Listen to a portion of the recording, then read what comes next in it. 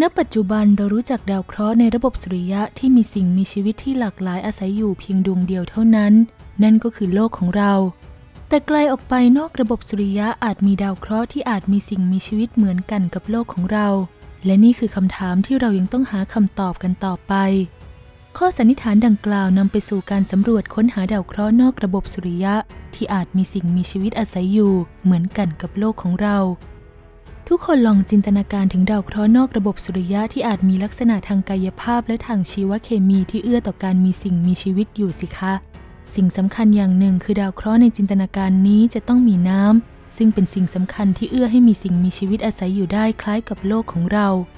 มนุษย์คิดถึงเรื่องสิ่งมีชีวิตในดาวเคราะห์ดวงอื่น ๆ ในเอกภพพร้อม ๆ กับการศึกษาดวงดาวบนท้องฟ้ามาตั้งแต่สมัยโบราณ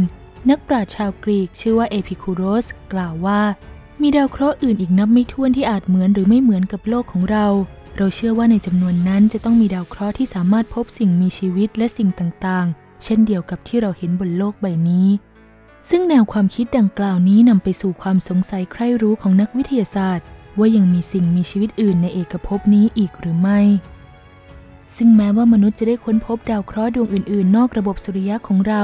ไม่ว่าจะเป็นดาวเคราะห์ที่โคจรรอบดาวฤกษ์ดวงอื่น หรือดาวเคราะห์ที่โคจรล่องลอยไปในอวกาศ ซึ่งเรียกรวมๆกันว่าดาวเคราะห์นอกระบบสุริยะ หรือ extra solar planet หรือเรียกสั้นๆว่า exoplanets นั่นเอง นักดาราศาสตร์ก็ยังคงพยายามศึกษาและค้นคว้าดาวเคราะห์เหล่านี้ไปเรื่อยๆ เพื่อช่วยตอบคำถามดังกล่าว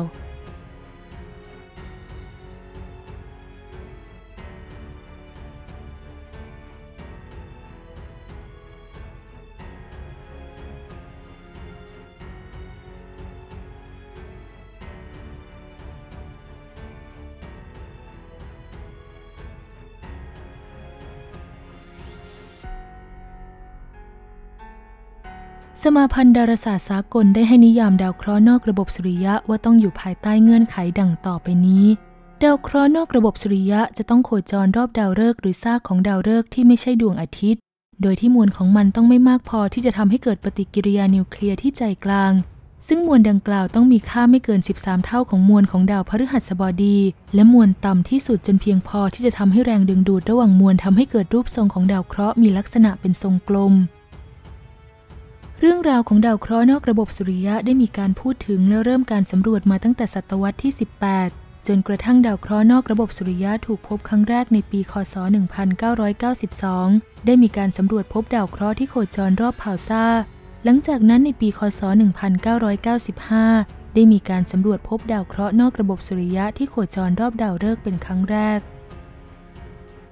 เมื่อเดือนตุลาคมปี คศ 2021 ที่ผ่านมา มีการค้นพบดาวเคราะห์นอกระบบสุริยะดวงแรกที่อยู่นอกกาแล็กซีทางช้างเผือกของเรา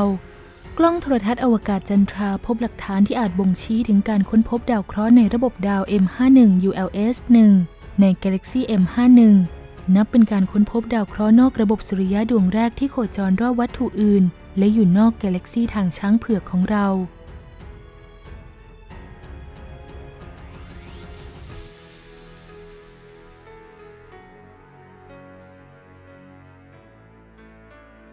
ปัจจุบันมนุษย์ค้นพบดาวเคราะห์นอกระบบสุริยะแล้วทั้งสิ้นกว่า 4,538 ดวง แต่ดาวเคราะห์ทั้งหมดนั้นล้วนแต่เป็นดาวเคราะห์ที่อยู่ในกาแล็กซีทางช้างเผือกที่เราอาศัยอยู่ และอยู่ห่างออกไปไม่เกิน 3,000 ปีแสง สาเหตุหนึ่งที่ทำให้การค้นพบดาวเคราะห์นอกระบบสุริยะเป็นเรื่องยากนั้น ก็เนื่องจากดาวเคราะห์ไม่มีแสงสว่างในตัวเอง บวกกับโคจรอยู่ใกล้ดาวฤกษ์มากเมื่อเทียบกับระยะห่างถึงระบบสุริยะ กล้องโทรทัศน์ที่เรามีอยู่จึงไม่สามารถสังเกตดาวเคราะห์แยกออกมาจากดาวฤกษ์ที่สว่างได้ วิธีการค้นพบดาวเคราะห์นอกระบบสุริยะส่วนมากนั้นจึงใช้วิธีการทรานซิตที่อาศัยการรอจังหวะประจวบเหมาะที่ดาวเคราะห์โคจรผ่านหน้าดาวฤกษ์และบดบังแสงบางส่วนจากดาวฤกษ์ไปพอดี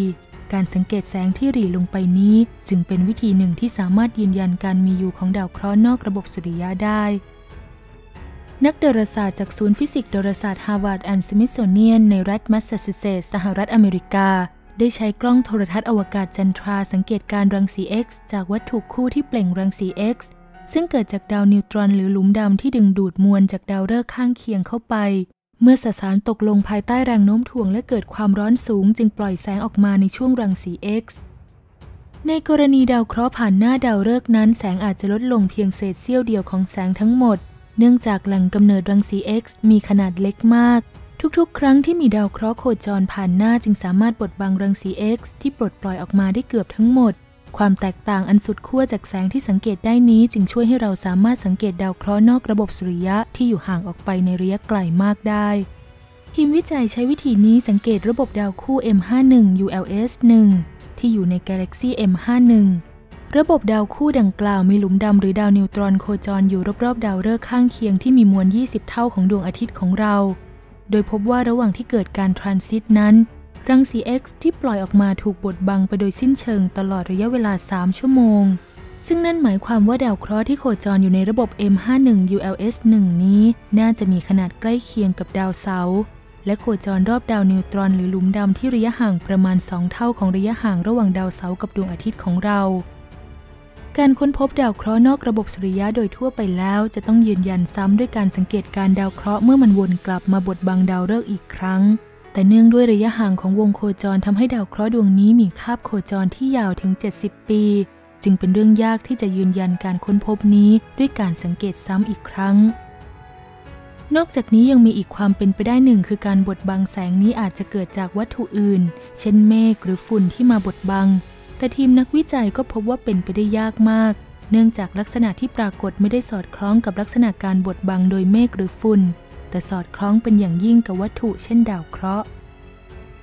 ด้วยเหตุนี้นะคะจึงมีความเป็นไปได้สูงว่าวัตถุที่ค้นพบดังกล่าวอาจจะเป็นดาวเคราะห์นอกระบบสุริยะดวงแรก ที่อยู่นอกกาแล็กซีทางช้างเผือก ตั้งแต่เคยมีการค้นพบมา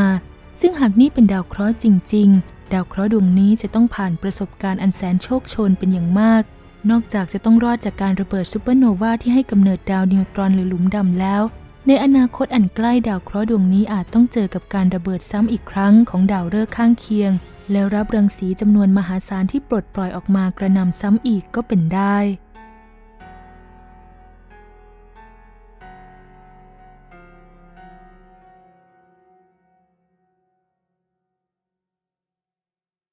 การค้นหาดาวเคราะห์อื่นนอกระบบสุริยะมุ่งเน้นไปที่ดาวฤกษ์เพื่อนบ้านในกาแล็กซีทางช้างเผือกของเรา แต่ก็ใช่ว่ามันจะอยู่ใกล้กับเราจริงไหมคะ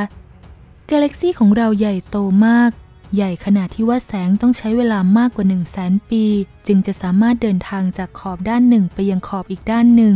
ภายในกาแล็กซีเองก็ประกอบไปด้วยดาวฤกษ์นับพันล้านดวง ซึ่งแต่ละดวงก็มีระยะทางที่ห่างกันหลายพันล้านกิโลเมตร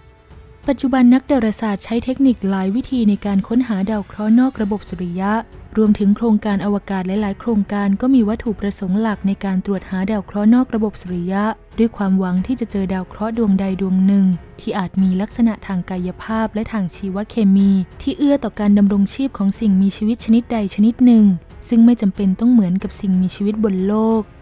ด้วยเทคโนโลยีและเครื่องมือที่เรามีอยู่ในปัจจุบันก็ถือว่าไม่ได้มีการพัฒนามากนัก แต่ถึงวันนี้เรายังไม่เจอดาวเคราะห์ดวงใดที่มีลักษณะดังกล่าว แต่เชื่อว่าความเพียรพยายามและความอยากรู้อยากเห็นของมนุษย์ จะเป็นตัวผลักดันให้พัฒนาเทคนิคและเทคโนโลยีใหม่ ๆ ในการค้นหาอย่างต่อเนื่อง ใครจะรู้ล่ะคะ เราอาจจะพบเพื่อนบ้านต่างดาวที่ไหนสักแห่งในเอกภพและอาจจะเป็นรูปแบบของสิ่งมีชีวิตที่เราไม่เคยคาดคิดมาก่อนก็เป็นได้ และนั่นจะเป็นข้อพิสูจน์ว่า มนุษย์โลกนั้นไม่ได้อยู่โดดเดี่ยวในห้วงอวกาศอันกว้างใหญ่ไพศาลนี้